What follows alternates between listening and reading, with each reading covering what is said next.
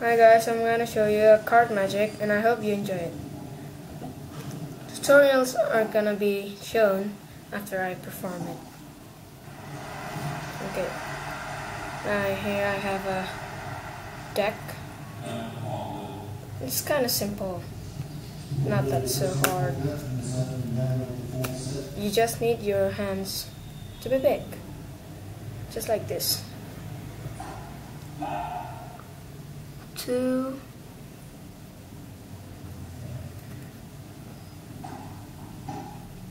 This one okay. Identical card.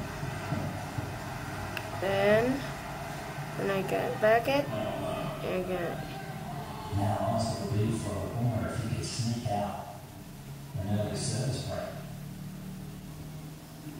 there Okay. Now I'm gonna teach you how. Okay, and first, you're gonna start a conversation with your victim. Then you do this. You show the card. Okay, I'm gonna shuffle the first. Show the card. Then when you get up here, see what's the card use your palm here. Drag drag the card here. While covering it then slowly slowly slowly slowly then do some tricks. And there you go. Just need to practice so that you'll not be uh, messed up.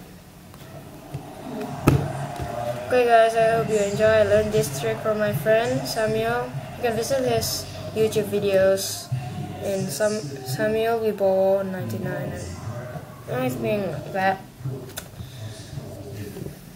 See you next time. Thanks for watching.